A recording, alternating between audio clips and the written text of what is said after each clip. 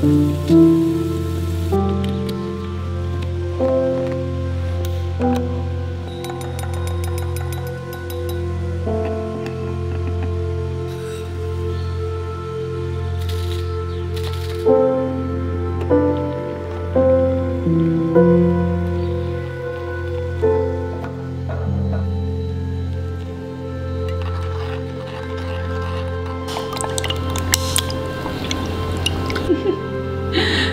what happens when you focus too much on filming and not a lot on what you're actually doing.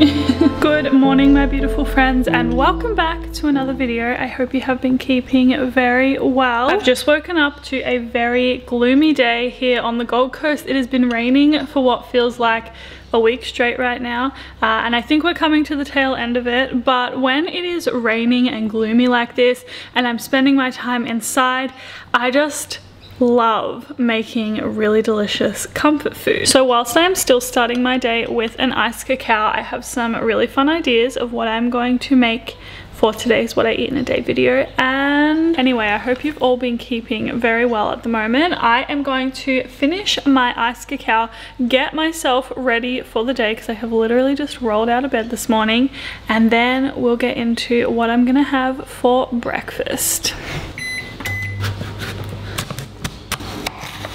So lately Cara and I have been really enjoying going and getting these vegan toasted sandwiches from a local cafe and this morning I decided I would try and recreate one at home because they are genuinely like the best toasted sandwiches ever. They are so good. So for breakfast this morning, I'm going to make a toasted sandwich. I've got some sourdough as well as vegan cheese, some cherry tomatoes, some vegan pesto. If you live in Australia, by the way, this vegan pesto you can get from Woolworths and it is really, really good. And then you may be able to see that I have roasted some pumpkin this morning. So that is gonna be my toasty. I'm really excited. Oh, I'm also going to add some spinach onto it as well. So it should be really delicious and hearty and filling and nourishing and all of that good stuff.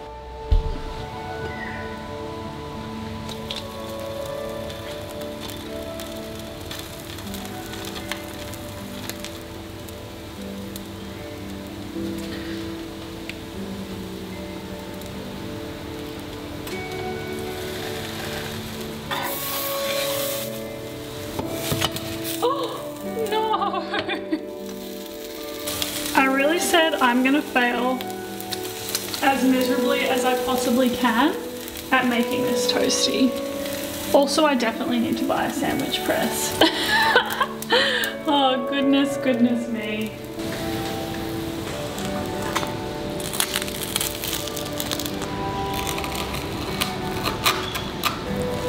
Okay, so despite the fact that I A, burnt this toasty and B, got it all over my stove top when I failed miserably at flipping it, it tastes absolutely incredible. And if you haven't had a toasty in like the past month or so, I highly encourage you to make one for breakfast today or tomorrow. Hello, Tiggy. Hi! Okay, so I want to take a moment to thank my friends at Native for working with me on today's video because as you may know, I have been using and loving Native's deodorants for well over a year now. They are so incredible and something else that I love about them so much is that they have made their deodorant formula available in a plastic free option. So it is the exact same formula that they have used for their deodorant but now it comes in these plastic free options which I love so much. This is made from paperboard and what's really awesome is that so far Native have sold over half a million units of plastic free products, which means that they have saved 48,000 pounds of plastic from being manufactured. So if you're looking for a deodorant that is plastic free, highly recommend. It's actually Earth Month as well for April. Uh, so if you're looking to make any changes for Earth Month and then to keep those changes going, uh, this is definitely a great place to start. I highly recommend. And honestly, these products last for so long. I have had these three for I'm gonna say like eight or nine months so far and I am nowhere near finished with any of them. So one of the main things I love about these deodorants is that they are vegan and cruelty free. They're also aluminium, sulfate and paraben free and they're made with super familiar ingredients like shea butter and coconut oil. As well as that, they are not sticky and they dry super, super quickly. So I wear these when I am exercising. I wear them when I am working from home all day and yeah, they work fabulously. So the three scents that I have at the moment are citrus and herbal musk as well as lavender and rose and coconut and vanilla. My favorite at the moment is citrus and herbal musk. I am a sucker for citrus and something that smells really fresh. The lavender and rose is super subtle and fresh as well. And the coconut and vanilla I love when I'm feeling something nice and creamy and simple. There's also two new scents which are lilac and white tea and tangerine and citrus blossom. So if you're looking to try out something new and fresh, highly recommend. So three of Native's plastic free deodorants are usually 39 US dollars, but if you use my link and my code, which is DUCKS6, you will get 25% off and that brings it down to 29 US dollars for the three. There's also free shipping in the US and I will leave on the screen the places that Native ships to. Anyway, it is still raining so much outside and although Easter has passed, I am so in the mood to make some hot cross buns. Easter was so busy this year and I didn't have the time to make any, but today I'm in the mood and more importantly, I'm in the mood to make choc chip hot cross buns. So let's do that.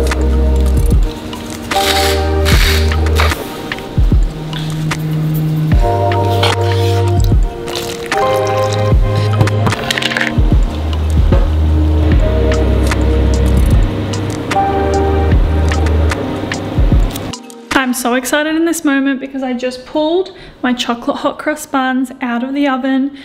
My whole apartment smells so divine right now. These hot cross buns look so cute and so yum. And I'm so excited to have one fresh out of the oven. Okay, look at how cute this hot cross bun is. I don't know if it's weird to describe your food as cute, but I do it all the time. Little bit of vegan butter on. Okay, the moment of truth. Do the hot cross buns taste as good as they smell? I am overwhelmed in the best way possible because these taste so good and just like so nostalgic. By the way, I did not come up with this recipe. I followed a recipe that I found online, so I will link it down below just in case you wanna make some at home. Okay, so if you've been around my YouTube channel for quite a while, you may remember that a few Really? Oh, I didn't know that. Yeah, you may remember that a few years ago, I used to be obsessed with making lentil bolognese. It's one of the first meals that I learned how to make when I first went vegan and it was a staple for many, many years, but I honestly haven't eaten it in months. And today when I was thinking about what I wanted to have for lunch, the first thing and pretty much the only thing that came to mind was lentil bolognese. So this is my big bowl of deliciousness that I am having for lunch today. I have the bolognese pasta sauce as well as pasta and some crispy kale. So the way that I make the bolognese pasta sauce is I first of all rinse some brown lentils and then I put them into a bowl and I mash them up with my hands so that they get more of a bolognese kind of texture. After that I put the lentils into a pot with some olive oil, spring onion, garlic and chili flakes I heat it up for a bit, then I add in some tinned diced tomatoes.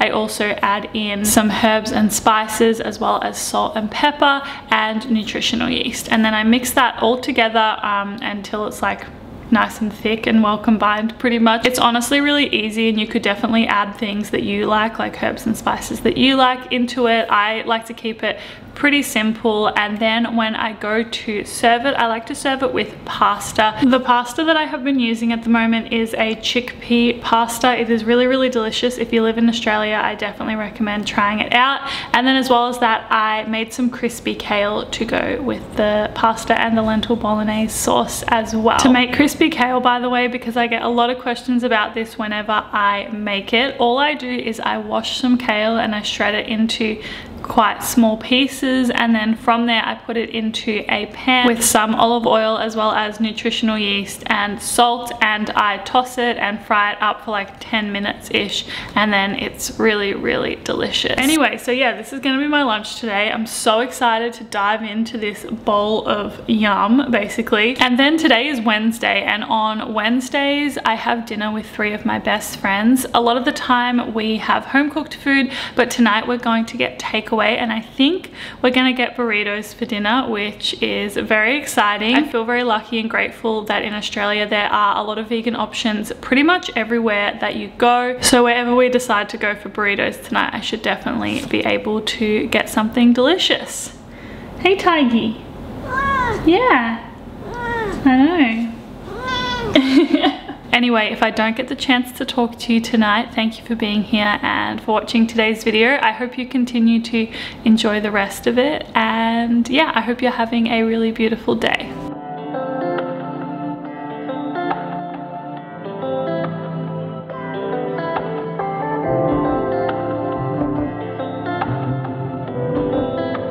Oh, thank you. Thanks. Ooh.